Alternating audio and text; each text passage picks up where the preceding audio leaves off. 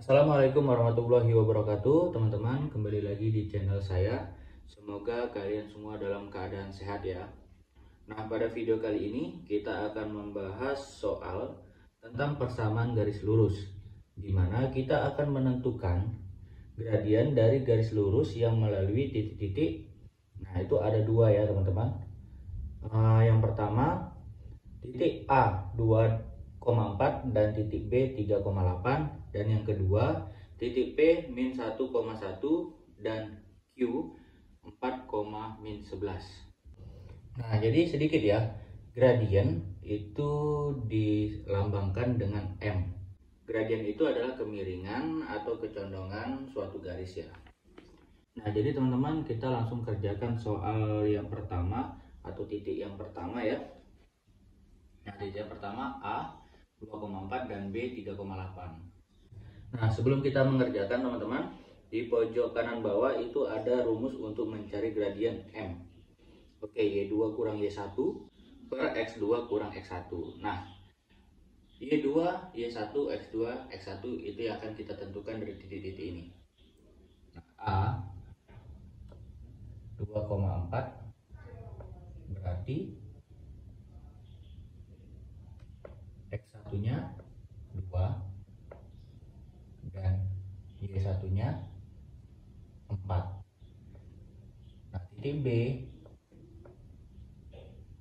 berarti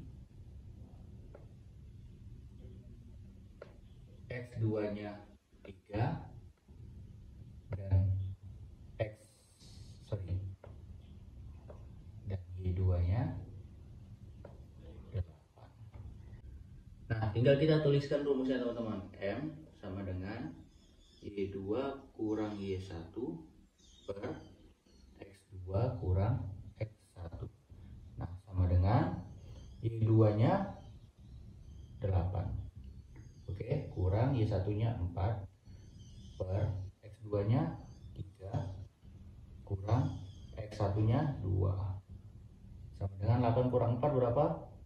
4 3 kurang 2 berapa? 1 4 dibagi 1 berapa? 4 nah teman-teman jadi uh, gradien dari garis lurus yang melalui titik A dan B ini adalah 4 nah kita ke soal yang kedua teman-teman.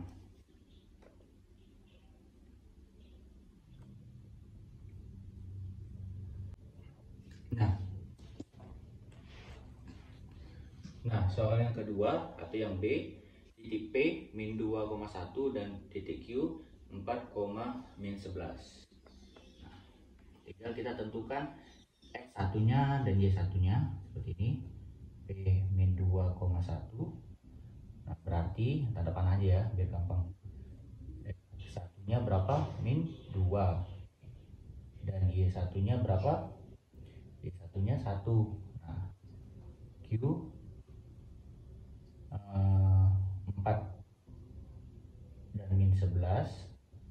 berarti X2 nya 4 dan Y2 nya min 11 nah, tinggal kita masukkan rumusnya teman-teman. M sama dengan Y2 kurang Y1 per X2 kurang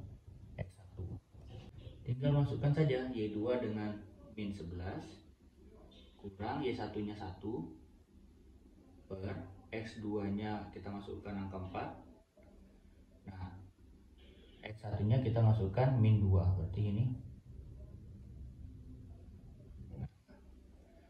min 11 kurang 1 min 12 per 4 kurang min 2 min ketemu min plus berarti 4 tambah 2 berapa? 6 Nah, min 12 dibagi 6 sama dengan minus 2. Nah, jadi teman-teman, uh, gradien dari garis lurus yang melalui titik P min 21 dan Q uh, 4 dan min 11 adalah minus 2. Oke, teman-teman jelas ya uh, pembahasan kita tentang cara menentukan gradien dari garis lurus yang diketahui titik-titiknya. Nah, semoga bermanfaat. Jika ada pertanyaan, kritik saran, silakan tuliskan di kolom komentar. Assalamualaikum warahmatullahi wabarakatuh.